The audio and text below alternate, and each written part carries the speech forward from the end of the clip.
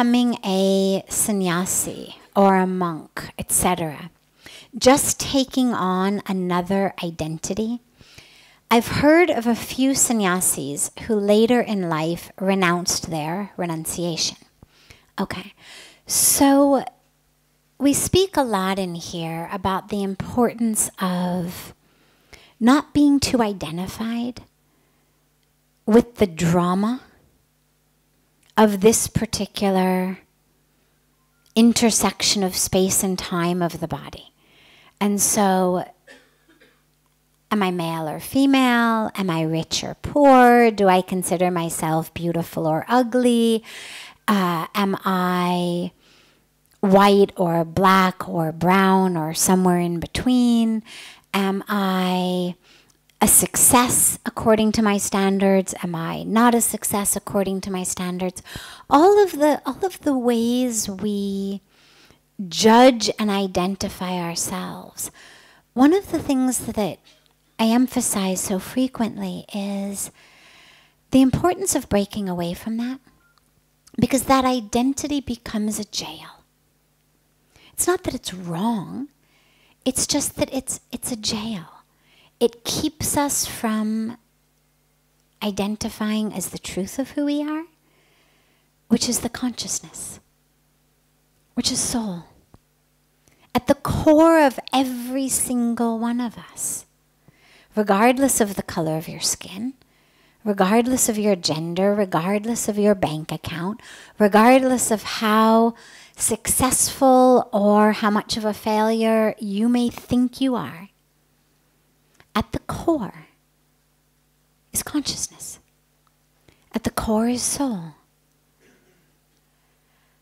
And to get there, we have to let go of our attachment to the identification with the body.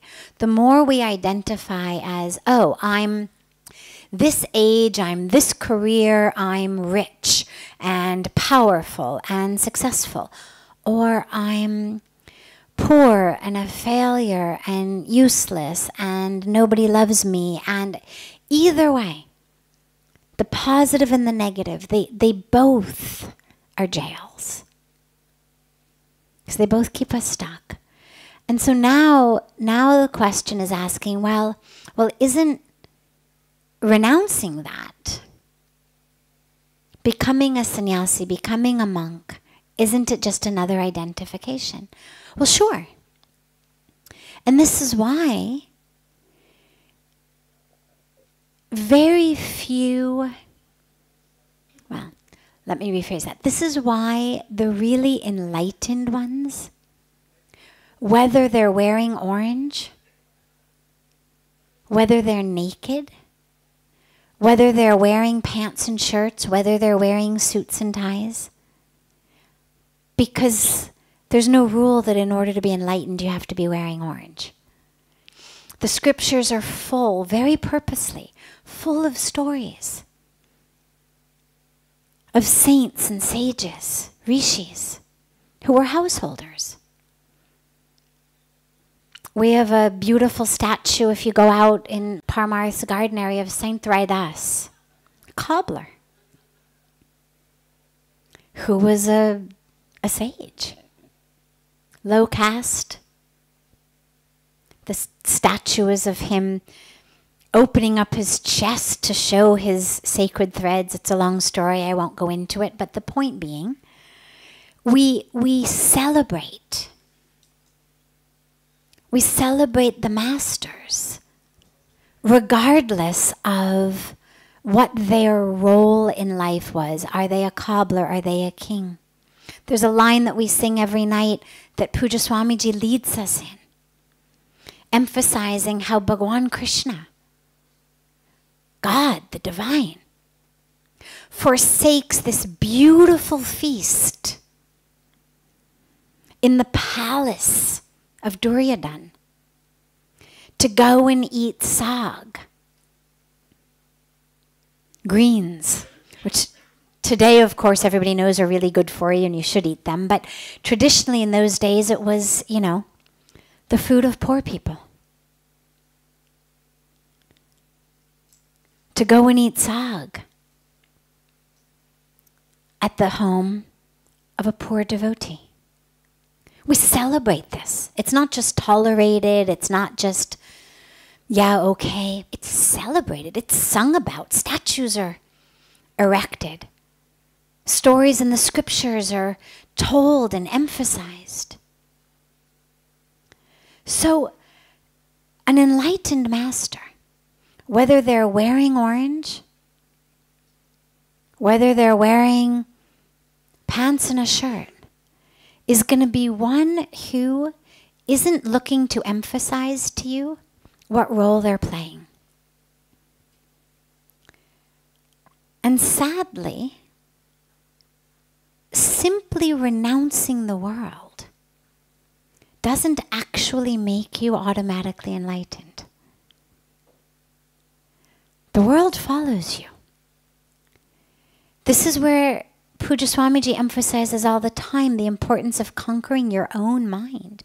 And he always shares, you know, he lived in the jungles, he lived in caves in his childhood.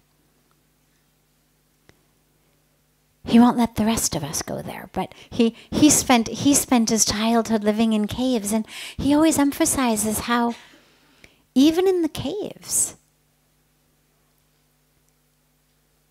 There were those who hadn't conquered their mind. There were those sitting in the caves, but who were more connected to, you know, what was going on in the world. More focused on, more attached to, more stuck with.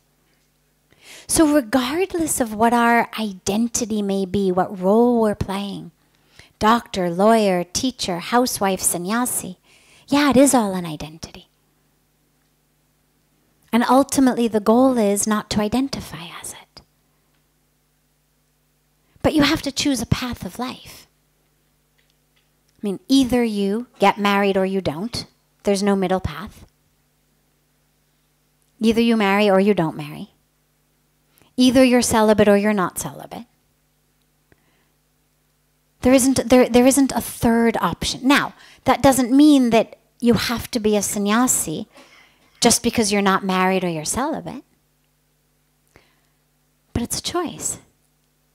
Just because you're good in science doesn't mean you have to become a doctor.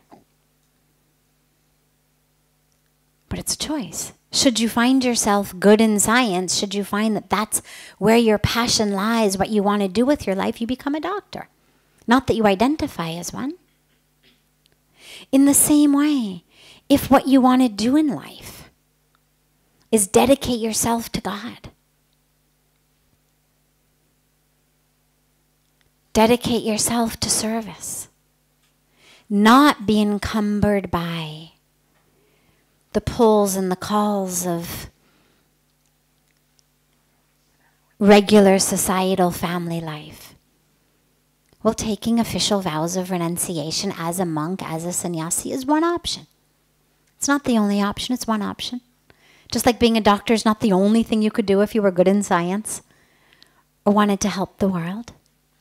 But regardless of what path we choose, much more important than whether you're dressed in orange, dressed in a suit and tie, dressed in a lab coat, dressed in shorts and a t shirt, dressed in a tutu. It doesn't matter, whatever, whatever you're wearing whatever role you're playing.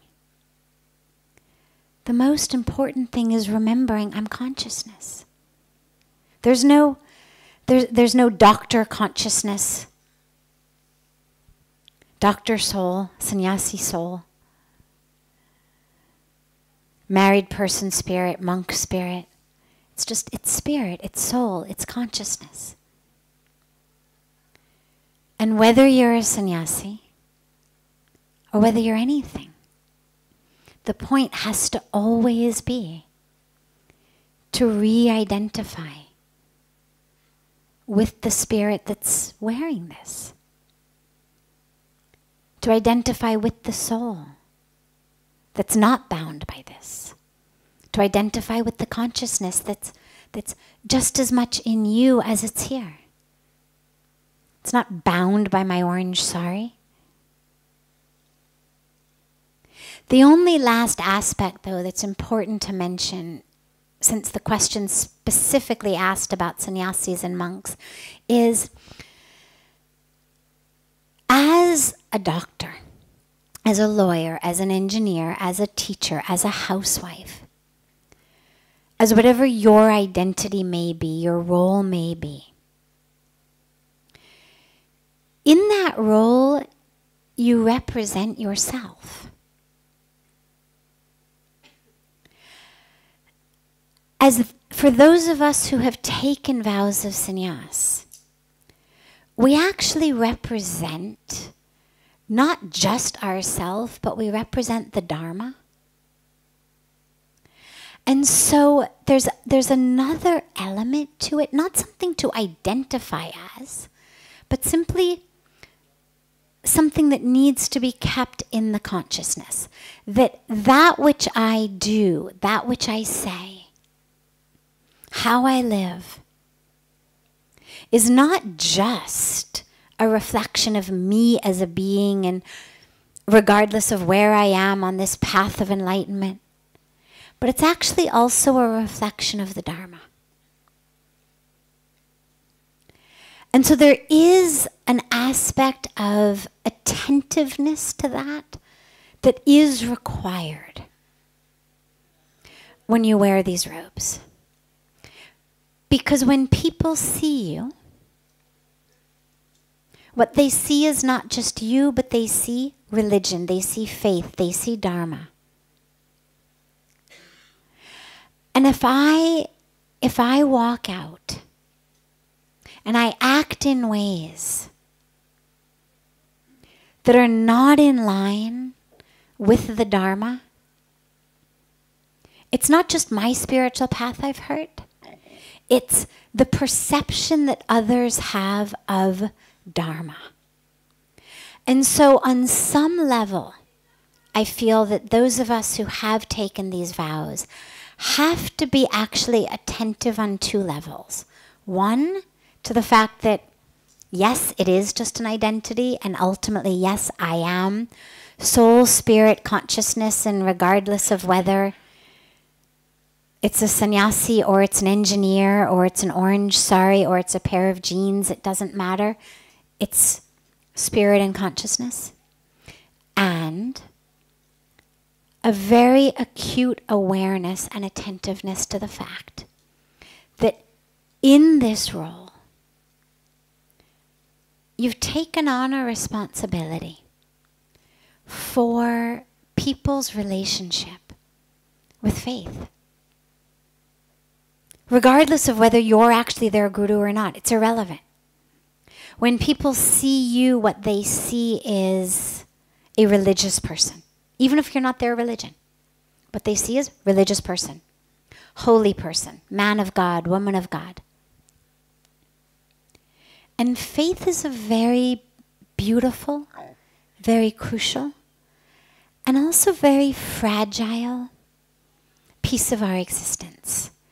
And so I feel that there's an important element here specifically for taking on a role of a religious person, which is you have to give enough attentiveness to the identity to remember that you represent religion and faith. And that that's very important. Because people's faith in their own leaders, in their own religion,